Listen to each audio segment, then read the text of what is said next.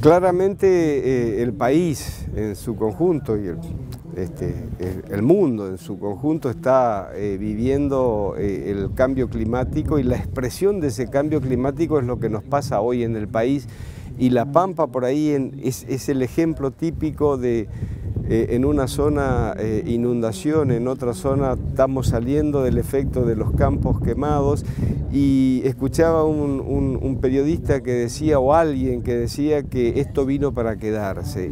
Si es así, que esta situación ha venido para quedarse, la solución a eso es mucho conocimiento para seguir produciendo, porque tenemos que obviamente seguir en, la tarea productiva. Ahora, ¿de qué manera? Con mucho conocimiento. Y ahí está responsabilidad de instituciones como el INTA, otras instituciones como el CONICET, las universidades, que tenemos que hacer el aporte de conocimiento para que esta producción se haga a pesar y aún con este contexto que parece que no es tan favorable.